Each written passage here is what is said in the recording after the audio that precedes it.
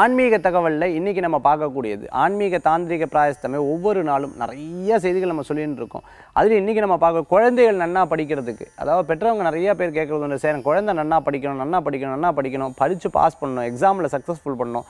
இதுக்காக என்ன வழிபாடு பண்ணணும் சொல்லுங்கள் நாங்கள் எல்லாம் தவமாக இருந்துட்டு இருக்கோம். ஏன்னா குழந்தைகள் நன்னா இருந்தாலே நாங்கள் ரொம்ப நன்னா இருப்போம். குழந்தைகள் வழிபாடு பண்ணுறதுக்கு நாங்கள் என்ன வழிபாடு பண்ணிக்கணும்? அப்படிங்கிறதா இன்றைக்கி கேட்டிருக்கா. இன்றைக்கி நம்ம பார்க்கக்கூடிய வழிபாடு ரொம்ப விசேஷமான வழிபாடு. அதாவது என்னென்னா ஹயக்ரீவர் ஞானானந்தமயம் தேவம் நிர்மலம் ஸ்படிகாகிருதம் ஆதாரம் சர்வ வித்யானாம் ஹயக்ரீவம் உபாஸ்மகே ஆமாம் ஹயக்ரீவர் வழிபாடு தான் இன்றைக்கி நம்ம பார்க்க போகிறோம் அதான் ஹயக்ரீவருக்கு ரொம்ப விசேஷமான வழிபாடு அப்படின்னு சொன்னால் பொதுவாக பார்த்துட்டேன்னா அவருக்கு புதன்கிழமை நாள் ரொம்ப சிறப்பாக இருந்துருக்கும். அதே மாதிரி பார்த்தீங்கன்னா வியாழக்கிழமை நாள் சிறப்பாக இருந்துருக்கும்.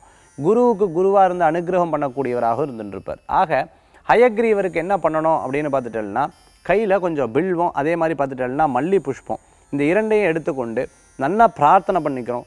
ஓம் ஞானானந்தமயம் தேவம் மந்திரத்தை விடாது நூற்றி எட்டு முறை சொல்லி குழந்தைகளை நினச்சி நல்லா வேண்டிக்கணும். குழந்தைகளுடைய படிப்பில் சக்ஸஸ் பண்ணோம் சக்ஸஸ் பண்ணோம் சக்ஸஸ் பண்ணோம் சக்ஸஸ் பண்ணணும் வேண்டிக்கணும். அப்படி வேண்டி அவருடைய பாதத்தில் அந்த புஷ்பங்களை சமர்ப்பிக்கிறது விசேஷமான பலன்களை கொடுக்கக்கூடியதாக இருக்கும்.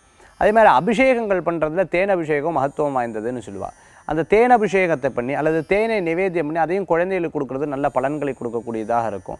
அவருக்கு சக்கர தீபம்னு சொல்லுவாங்க. அதாவது நட்சத்திர மண்டலம் போட்டுண்டு அதன் மேலே தீபம் வச்சுக்கிறது ஹயக்கிரிவரை நன்னா வேண்டிக்கிறது நல்ல பலன்களை கொடுக்கக்கூடியதாக இருக்கும். வீட்டில் ஹயக்கிரிவர் படம் வச்சுண்டேல் அப்படின்னு சொன்னால் அழகாக சக்கர தீபம்னு சொல்லுவாள் நட்சத்திரத்தை போட்டு அந்த நட்சத்திரத்துக்கு மத்தியில் ஒரு தீபத்தை வைத்து வழிபட்டோம்னா விசேஷமான பலன்களை கொடுக்கக்கூடியதாக இருக்கும்.